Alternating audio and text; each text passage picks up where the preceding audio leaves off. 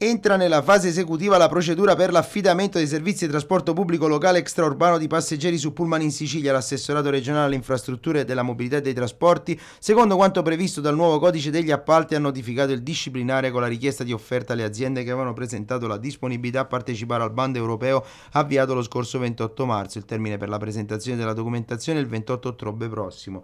È una svolta per il servizio di trasporto pubblico regionale, dice l'assessore ai trasporti e alla mobilità Alessandra Ricò. Per la prima volta volta si procede attraverso una procedura evidenza pubblica, questo assieme ai requisiti stabiliti dall'avviso consentirà di garantire ai siciliani collegamenti efficienti, moderni e di notevole qualità su tutto il territorio siciliano per un arco temporale consistente. L'importo complessivo a base d'asta del servizio è di poco più di 883 milioni di euro, IVA compresa. La durata dell'affidamento è di 9 anni. Le tratte da coprire previste dal bando ammontano a oltre 53 milioni di chilometri, ai quali si aggiungono gli 11 milioni di chilometri assegnati in house all'AST per un totale di 65 milioni di chilometri, il 4,4% in più delle percorrenze attuali.